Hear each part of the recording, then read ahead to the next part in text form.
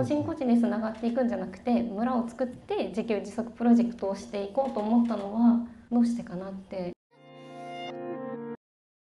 あの今自給自足プロジェクトをされてるじゃないですか、はい、私も今畑をレンタルして、まあ、自分が食べる分だけでもとりあえず作れればなっていうので、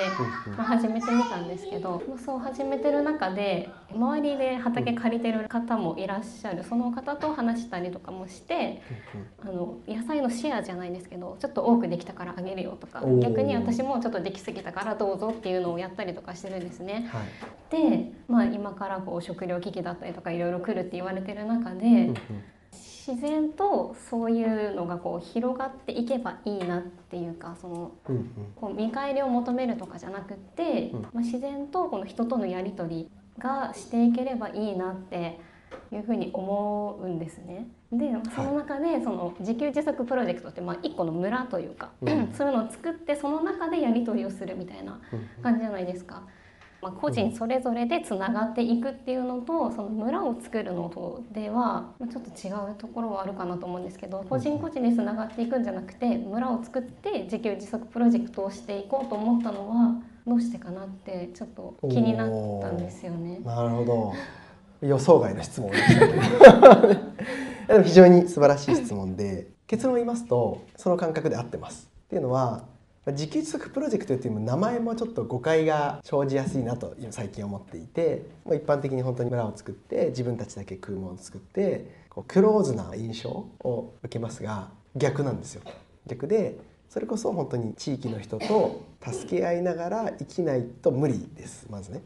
だし一番は僕らってよそ者なわけですよね。ずっと住んでいる人たちにとっては。よそ者なのでまず第一に考えなきゃいけないのはそこに住んでる人たちのために何ができるかを考えないといけないと思ってます。なのでその人たちにとって役に立つことはなければ、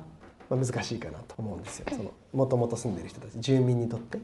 うん、なので、まあ、今まさにご自身で個人的にやられている野菜多く取れたから分け合うみたいなのをチームでやるってイメージ。それを規模を大きくしたのがこのプロジェクトっていうイメージなので規模が違うだけでやろうとしていることは同じだと思ってます。その上で集まるってことは非常に重要なんですよ。組織の形態としてもちろんおっしゃるように個人個人が違う場所に住んでるけどいつも心を通わせていて一つっていうチームの形態を取ることもあると思います。理想だからただ最初はやっぱ意思疎通もそうだし価値観を共有することがあまりに多すぎて今日の講演会でもずっと言ってたようにあらゆる軸に侵されているというか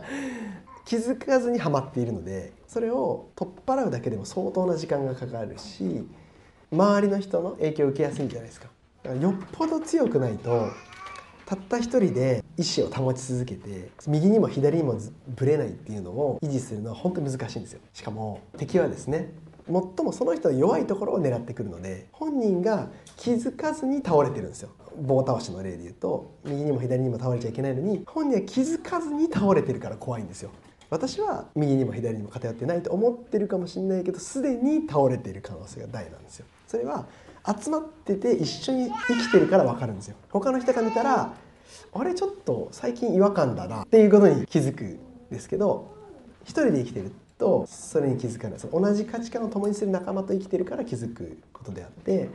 自分一人だけで周りの「今日もきゅうり取れたよ」っていうおばあちゃんと暮らしてるだけでは自分のズレには気づかないわけですよ。で実は聖書にですね「終わりの時代」って今「終わりの時代」っていうカテゴリーに入るんですけど終わりの時代は「集まることに励みなさいと、うん、表現はちょっと違うんですけどね。あの一緒に集まることをやめたりしないで帰って一緒に集まって励まし合いなさいっていうふうに書いてあるんですね。これが今の時代を生きるキーなんですよ。これがあるので敵は集まらないようにするんですよ。ソーシャルディスタンスって言ってね。ねまさかウイルスでね集まらないようにするとはしてやられたぞってこっちは思ってるんですけど。なるほどねウイルスすごいいい理由だなみたいな集まらないじゃない？